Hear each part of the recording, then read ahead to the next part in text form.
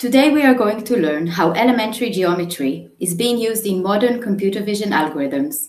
But before we do, let's make a small experiment. Stretch your hand all the way forward, one finger up. Now close one eye and then the other eye. You see that the finger is at different locations when you look through each eye.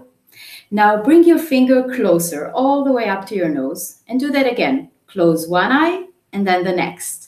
Now the finger moves a lot of distance when you close uh, your different eyes. So when the finger is, is close, it moves a lot from side to side. And when the finger is far away, it only moves a little. Let's call the distance between our eyes and the finger to be the depth so between my eyes and the finger, that's the depth. And the distance between the two locations of the finger would be, we will call that disparity. And what we see is that there is an inverse relationship between the depth and the disparity. Well, the goal of what we are going to talk about today is to calculate the depth of object in images. And the context is stereo vision. This is basically why we have two eyes. So we can have two images of the world where objects appear in some disparity so that our brain could calculate the depth, the depth of the objects in front of us. So basically our goal today, which is a frequent goal in computer vision algorithms, is to intentionally and intelligently do what our brain does without a second, a second thought. And why would we even care about calculating depth? Well, for example, if you are on the road driving in an autonomous or semi-autonomous car, then you would like to know the distance to the car in front of you, or actually the computer vision system in your car that has multiple cameras would like to calculate the depth of any object that is in front of you. So our goal today is to understand depth and disparity, and now we understand the motivation. We are going to lay some foundations and then we're going to do some geometry. So in order to talk about computer vision, let's agree on a very simplified model of what is a camera. But I assure you, this model represents modern camera, cameras well enough for the purpose of this talk. In this model, we have a small pinhole through which light rays go, and an inverted image of the world is imprinted on some screen at the back of the camera. Now let's make this model even simpler and place an exact copy of this screen that is in the back of the camera, but put it at the front instead. So basically what we see in this frontal screen is what we would see in the photo that is captured by the camera. So we have the object in front of the camera, maybe my finger or a car. We have the representation of the image captured by the camera, which would be the photo or maybe what I see with my eyes. And we have a dot which represents where all the light rays uh, converge. And we are going to totally abuse notation here, but for simplicity, let's call this dot today the center of the camera. And remember, we are talking about stereo vision. So we have two cameras looking at the same object. And for further simplicity, we'll assume that the cameras are exactly parallel to each other, looking exactly at the right at, at the same direction, and they're placed such that the line connecting the two cameras is exactly perpendicular to the direction in which they are looking. So it would be like my eyes being exactly at the same place in my head, looking exactly forward. Um, and this would also mean that the photos that we see, the images that we see with both cameras are on the same plane. So it would be like I have two cameras taking a photo and the photo is on the same plane the same distance from the centers of the camera.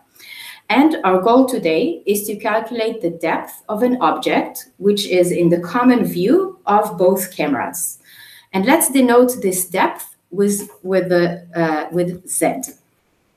And to even further simplify things, let's assume just for a moment, we're going to remove this assumption later, but for a moment, let's assume that the object is at the exact level of the camera centers. That would mean that if my eyes are at this height, and I put my finger here, and my goal is to calculate the depth of the tip of my fingernail, the depth, uh, the distance between my eyes and the tip of my fingernail, then I assume that the tip of my fingernail is exactly at this is at exactly at the same height as the center of my eyes. I would also point out that since in modern cameras we talk in pixels, what I actually mean to say is that when we look at the image uh, that the camera creates, uh, then the object that we want to calculate its depth is exactly at the center of the image. And let's think for a moment, why would the object appear at the same horizontal line in both images? Well, that's because, uh, so the two cameras, my two eyes, and the object in question, we have three dots and the th uh, three points, and three points together create a plane. And because the cameras are exactly perpendicular to the photos that they create, then also the photos are on the same plane. And so the object appears on the same horizontal line in both cameras. So before we continue, I want to remind you that our goal is to use disparity, the distance between uh, the, the way we see the object in both images. And so we want to use disparity to calculate depth. And remember, I told you at the beginning that disparity is the distance between uh, where my finger is when I look at both eyes. Well, that's not exactly accurate. Let's put it this way. When I only open my left eye and I put my finger forward, then I see my finger a bit to my right. So if I take the line that goes from the center of my eye completely, uh, exactly perpendicular to, uh, to where I'm looking. And so let's call the distance between the center of the photo to where my finger is, that would be x1. The distance between the center of the photo and the object where it appears in the photo. And same for the right camera or the right eye, that if I put my finger forward and open only my right eye, then the finger would look a little bit to the left. Uh, so we're going to talk, uh, we're going to call that distance between the center of the right image and where the object appears in image, we're going to call that x2. And now we're going to define disparity to be x1 plus x2. What does it mean? It means that if I put, take both photos and put them exactly on top of each other, then remember if, when I look with my left eye, the object appears a bit to my right. And when I look with my right eye, the object appears a bit to my left. Then the disparity that we define is x1 plus x2 is the distance on the overlay of both uh, images. So now we understand the motivation, we laid some foundations, and we are ready to do some geometry and to understand how exactly are we going to calculate depth knowing the disparity. Um, okay, so let's recall our setting. We assume that we know x1 and x2. We have the object appearing in both images, and we know the distance between the center of the image to where the object appears in both images. That's x1 and x2. And our goal is to calculate z, which is the distance between the cameras and the object in front of us. So I just cleaned up the board a little bit. You see, uh, you have all the cameras and all the details, and I just cleaned up the board a little bit because we're going to do some geometry. So let's stick to the important details. And also I want to call the centers of the camera C1 and C2. And remember the perpendicular lines going from the center of the camera to the plane of the image. They are uh, they represent the altitude or the distance between the center of the camera to the image. And because we have two cameras that we assume they're exactly the same, then this distance is also the same. It's called in the computer vision jargon, it's called focal length, and we denote it by f, which is the same in both cameras. Our last assumption of the day, and a pretty fair one to make, is that we know the distance between the cameras. And that's because either we put them there or we can use some external measurements to, uh, to understand what is the distance between the cameras. And we're going to call this distance B for base. So that's the distance between C1 and C2. And now the major trick that I'm going to make, there's only one trick today, and this is it, is that I'm going to take the uh, triangle Let's see if you can see my, uh, my mouse. So I took the triangle from the right image and I copied an exact, and I made an exact copy of it and copied it to the left. So this triangle is exactly as this triangle, which makes this uh, length x2. And let's denote by P the object uh, that its depth we want to discover. P1 is the pixel in the left image uh, in which this object appears, and P2 is the pixel in which the object appears in the right image. And I'm going to totally abuse notation here. And since I copied the exact triangle from the right to the left, then I'm going to call this dot P2 instead. Okay, now since the base, which is the line connecting both cameras, and the horizontal line of the images, uh, the horizontal line on the image where the object appears, since this, these two lines are parallel, we have these two uh, angles which are the same. And for similar reasons, we also have these angles which are the same. And now do you see what I'm seeing? So let's look at triangle C1, C2, and P, which is marked here in red then this triangle is similar to P1, P2, C2. So let's look at it closer. We have, we're going from the one arc angle to the two arcs angle to the third, uh, to the third angle. And we have three, uh, we have three similar images. So the, uh, the triangles are similar. Now, since these triangles are similar, oh, the text is a bit blurry here. Okay, that's life. Um, so because these triangles are similar, there is an equivalence between the ratios of the height and the base of the triangles. So on the larger triangle, the height is z and the base is b. And on the smaller triangle, the, the height is f and the base is x1 plus x, x2.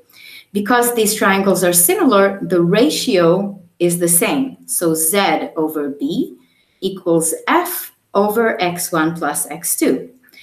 And I'm going to remind you that we defined the disparity to be x1 plus x2. So we get z over b equals f over d.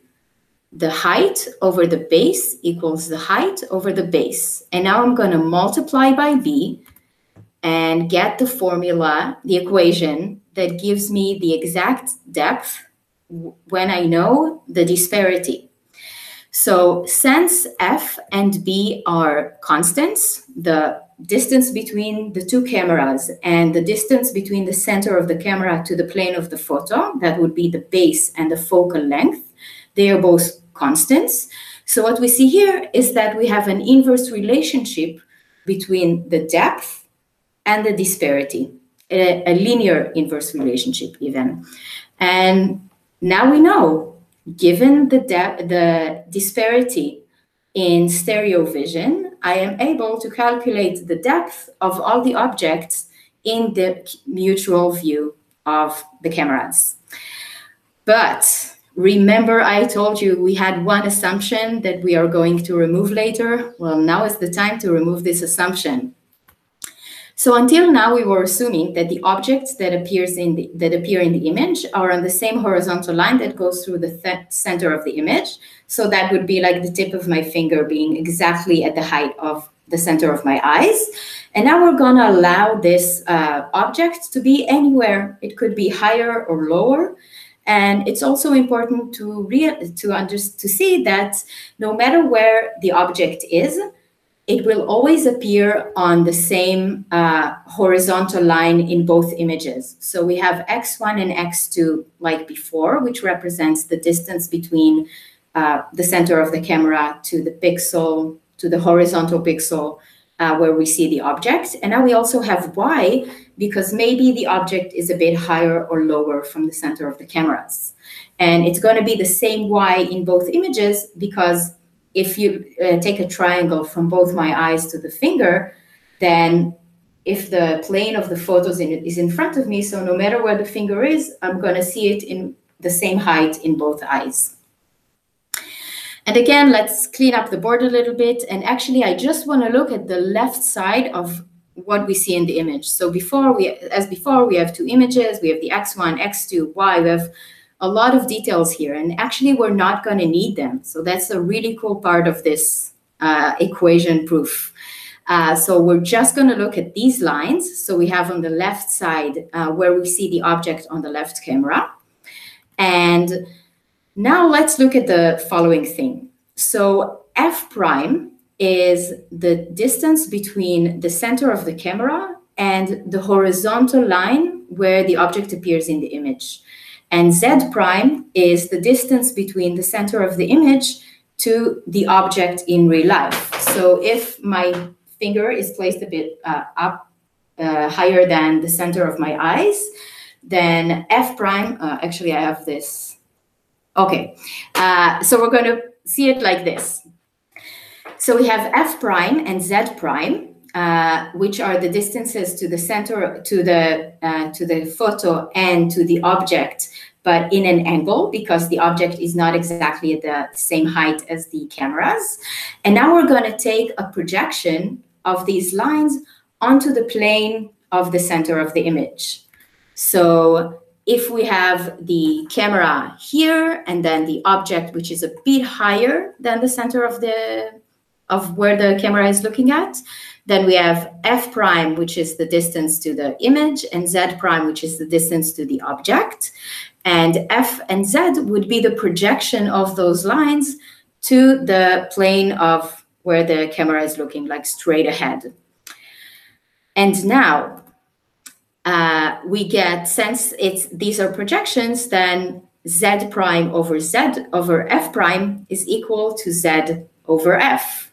Now, how is this going to help us? Because if we go back to the same calculations we did before, and we take triangle equalities, then we see that z prime over f prime equals b over d. I promise you it's exactly the same uh, calculation as before. If you are a bit unsure, you can pause the video and go back and see it's the same. But what's important for us now is that z prime over f prime, the height uh, in the larger triangle and the height uh, over the height of the smaller triangle is equal to the base b of the of the larger triangle over the base d of the smaller triangle. Taking these two things together, we get again that the relationship between Z, F, B, and D. The depth we want to calculate, the focal length of the camera, which we know, the base, which we know, and the disparity, which we defined to be the distance between um, uh, like x1 and plus x2. And again, uh, we get the coveted formula that we wanted to show. And we see that no matter where the finger is uh, with relation to uh, the cameras or my eyes, then I always get the same formula that the depth, the distance between the cameras and the object is always uh, the constant of base times focal length divided by the disparity. So that's kind of it we know the motivation of why we care uh, about computing, uh, calculating depth in stereo vision. We learned some basic computer vision concepts, and we did some elementary geometry, which showed us that if we know the disparity uh, of where the object appears in stereo vision in the image of both cameras, then we can calculate its depth. But some of you may have wondered during my talk, okay, so now I know that if I know the disparity, then I can calculate the depth. But how would I even know what is the disparity? Like I have two images showing me something. How would I even know that the finger appears exactly at this pixel in this image and exactly at this pixel at this image? Well, actually, this is a very complicated problem in computer vision. And pro this problem of identifying common objects in stereo images is called matching. And in fact, everything we talked about today relies on the output of the matching algorithm. And how would we find those matching points, you ask? Well, maybe in my next talk. In the meanwhile, thank you for listening and keep being curious.